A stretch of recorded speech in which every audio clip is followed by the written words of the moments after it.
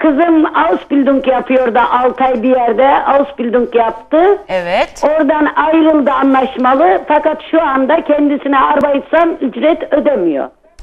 Kaç yaşında kızınız? 19 yaşında. 19 yaşında. Neden 6 ayda çıktınız diye 2 hafta hastalıktan dolayı raporluydu. Ondan dolayı anlaşmalı ayrıldı iş yerinden. Evet. Şimdi şu Heyete girdi Arbeitsam onu. Ha, evet Sperre koymuştur e, Arbeitsamt ona 3 aylık bir e, e, o, vermeyecektir ona. Değil mi? Ama iş yeri kendisine anlaşmalı çıkarttı. İşte evet işte o anlaşmalı dolayı. evet bu anlaşmalı çıktığı için normal e, Ausbildung yapan yani meslek öğrenenler 3 aydan sonra e, çıkış vermek çok çok zordur. Yani çok acil nedenlerden ancak.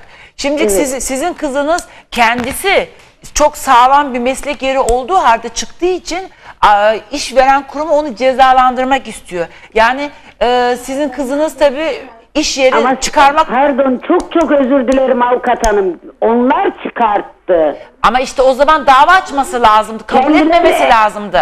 Kağıdı da doldurarak kendimiz anlaşmalı çıkarıyoruz hastalıktan dolayı yazdıkları Evet için. işte onu onu hata yapmış kızınız. Bu anlaşmayı imzalamayacaktı. Onlar çıkış verse avukata gitmesi lazımdı. Anlaş bütün bu çıkışlarda geçerli. Yani e, çıkış verilirse ve iş ver, e, işçi bu bunu kabullenirse anlaşmalı o zaman Evet. iş iş bulma kurumu problem yapıyor. Önceden sormak lazım iş bulma kurumuna. Ben onaylarsam bu çıkışa bana para verecek misin? Nedenleri açıklanırsa onlar okeyleyebilir. Ama iş iş bittikten sonra iş e, iş e, bulma kurumuna e, bu yasağı koyabiliyor. Yani kızınız o iş yerinin ona baskı yapmışlardı işte bunu imzala filan falan. Yani benim önerim hiçbir zaman böyle çıkış Ama verir- şu durumda kendisi Hagen'de yaşıyor. Zaten ev kirasını dahi ödeyemiyor. Ne yapması gerek? Şimdi bakınız imzaladığı için o zaman e, gerekirse yani ben mecburdum oradan çıkmaya başka imkanım yoktu diye bu işsizlik parası vermemesine itiraz etmeniz lazım.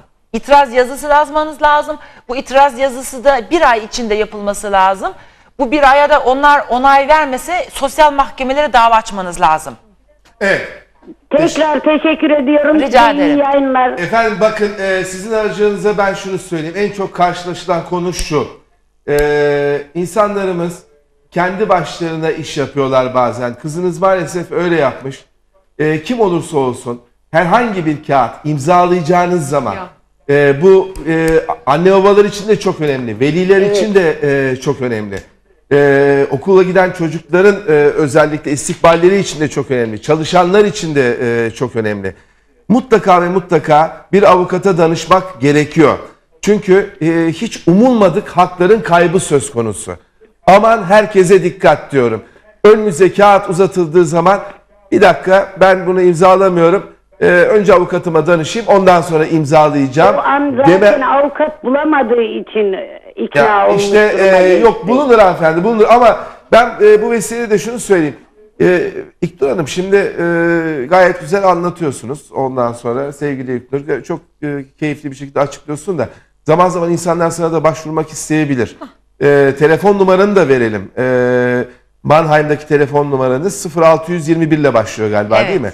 Bir e, telefonu söyleyebilir misin? Evet, sıfır- Arkadaşlarımız da Evet gösteriyor şu an. 0621 1560 227. Orada bir yanlışlık yapmışlar. 0049 yok. Çünkü Almanya'nın verelim ki Almanya'nın zaten 0049 olduğunu biliyorlar. Tekrar ekrana getirecekler. Ee, 0621 15 15 227. tamam. Hayır, on, Ee, pardon kafam karıştı. Evet evet. 156 156 0227 0227 evet. dedik. Evet. Ben kendime pek telefon açmıyorum onun için yani. Ya öyle değil. Bu stres içerisinde bazen ev numaramızı unutuyoruz ee, biz bile. Bir diğer telefon var. Ee, ismini vermek istemiyor hiç sorun değil. Ee, Mardin'den arıyor bir erkek izleyicimiz. Mardin'e selamlar. Selamlar. Ve hemen geçen hafta da Berdan Mardini vardı. Ee, Mardinlerle bayağı muhabbetimiz yoğun olmuştu. Buyurun efendim. Alo, iyi akşamlar. İyi, akşamlar. Ee, avukat hanıma bir sorum olacaktı benim. Hemen hızlıca buyurun. Ben kendim Alman vatandaşıyım. Türkiye'de evlilik yaptım. Benim e, eşim şu an hamile. Ee, Eşiniz pardon anlamadık. Eşim şu an hamile benim. Hamile evet. Hayırlı olsun. Hayırlı olsun. Teşekkür ederim.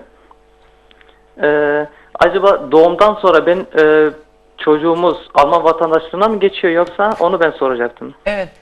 Tabii siz Alman vatandaşı olduğunuz Ben kendim Alman vatandaşıyım evet. Tabii siz Alman vatandaşı olduğunuz için çocuğunuz da Alman vatandaşıdır. Hatta şu bu soruyu sormadınız ama size de onu ilave etmek istiyorum. Belki biliyorsunuz ama gene seyircilerimiz için. Ee, hanımınız siz e, çocuğu e, almaya gideceksiniz. Çocuğu Evet. alacaksınız.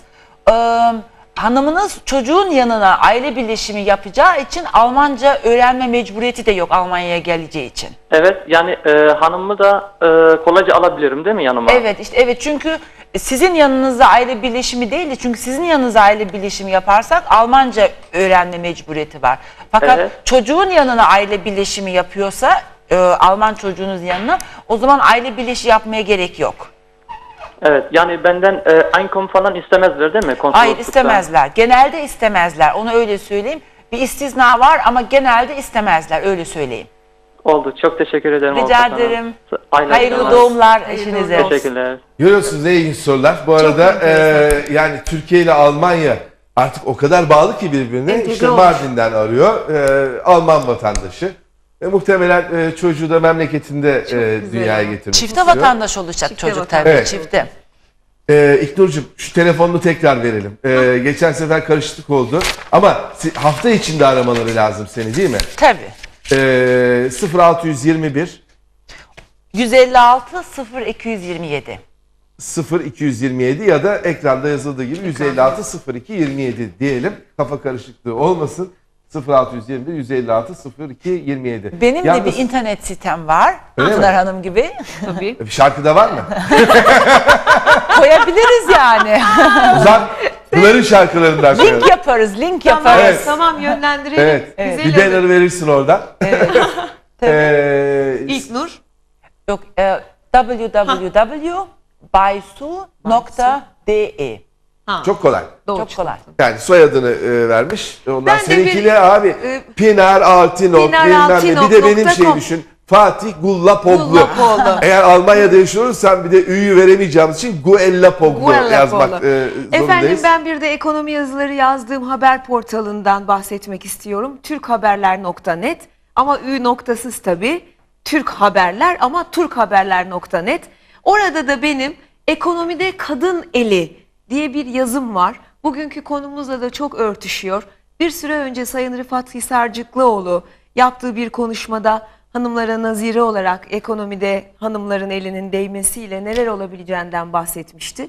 Ben de o konuyla ilgili bir yazı yazdım. Okuyucular paylaşırlarsa Ne güzel. türkhaberler.net'te. Yalnız Allah'ını seversen ekonomi deme. Dünya batıyor. Her Şarkı, taraftan böyle kriz, kötü global. sinyaller geliyor. Olsun umudumuzu Ama kaybetmiyoruz. fena olur. Akşam bu Moral saatinde verin. gel bir Şarkı. şarkı. Hadi şarkı. bakalım. Hadi. Zaten giriyoruz zaman zaman ekonomiye de giriyoruz ama Her bu şey akşam var. Program dolu efendim. Allah'ını seversen Her ekonomi şey var. yok. Her şey var. Sevgili izleyiciler sizi Pınar'la baş başa bırakıyorum. Ardından bir reklam arası gelecek ve tekrar birlikte olacağız. Telefonla aramaya devam edin. Hadi bakalım.